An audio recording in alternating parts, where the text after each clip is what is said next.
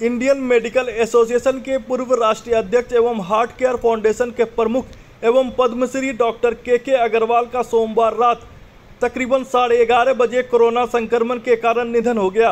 वे पिछले कई दिनों से दिल्ली के एम्स अस्पताल में भर्ती थे। तीन दिन पहले ही तबीयत बिगड़ने के चलते उन्हें वेंटिलेटर सपोर्ट पर रखा गया था।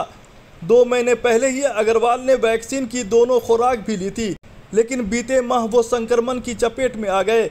अग्रवाल को साल 2010 में पद्मश्री से सम्मानित किया गया था। बीते एक साल से कोरोना महामारी में डॉक्टर के के अग्रवाल देश भर के लोगों को कोरोना के प्रति जागरूक भी कर रहे थे।